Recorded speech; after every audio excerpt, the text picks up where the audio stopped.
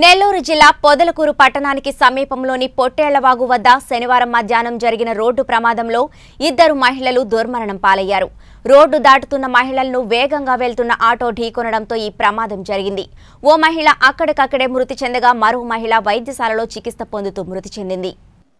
నెల్లూరు జిల్లా పొదలకూరు పంచాయతీ పరిధిలోని శ్రామిక నగర్లో నివాసముంటున్న రమణమ్మతో పాటు మరో మహిళ రామ్నగర్ సెంటర్లో నిత్యావసర సరుకులు కొనుగోలు చేసి ఇంటికి తిరిగి వెళ్తుండగా ఈ ప్రమాదం జరిగింది. ఆటో డ్రైవర్ మద్యం మత్తులో ఆటో నడిపిన కారణంగానే ఈ ప్రమాదం జరిగి ఉండొచ్చని భావిస్తున్నారు. కూలీ నాలీ చేసుకుని కష్టపడి సంపాదించిన డబ్బులతో ఇంటికి నిత్యావసర సరుకులు తీసుకువెళ్తున్న మహిళలు రోడ్డు ప్రమాదంలో మృతి చెందడం పట్ల పలువురు విచారం వ్యక్తం చేస్తున్నారు. ప్రమాదం జరిగిన ప్రాంతంలో నిత్యావసర సరుకులు పడిపోయి ఉండడం చోపర్లను కంటతడి పెట్టించింది. పొదలకూరు ఎస్ఐ రహీం రెడ్డి సంఘటనా స్థలానికి చేరుకుని కేసు నమోదు చేసి దర్యాప్తు చేస్తున్నారు.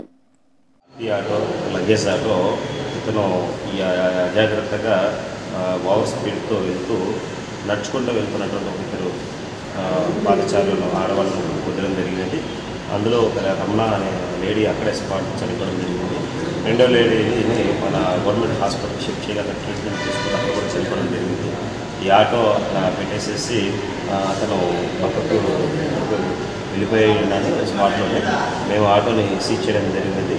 ఆటో యొక్క ముద్దాయి ఆటో డ్రైవర్ని ఈ యొక్క ఆటోని సీజ్ చేస్తాం.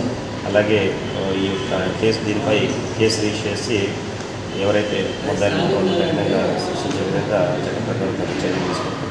ఇన్వెస్టిగేషన్ చేస్తూ ఉన్నాం. ఈ యొక్క ఇద్దరు లేడీస్ది వాళ్ళ యొక్క పూర్తి డీటెయిల్స్ కనుక్కొని వాళ్ళ యొక్క బంధువులకు తెలియపరిచి ఈవినింగ్ కల్లా వాళ్ళ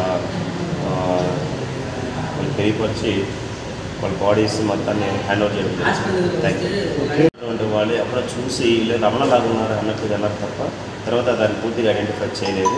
వీళ్ళు పనుల నిమిత్తం బయట ఊర్లో నుంచి వచ్చారు. ఆటో అతను కూడా లోకల్ అతనిలాగా లేడు. మా గూడూరు సైడ్ నుంచి ఎలాగ ఉన్నారు. పూర్తిగా ఈ ఇన్వెస్టిగేషన్లో డీటెయిల్స్ వస్తాయి. Thank you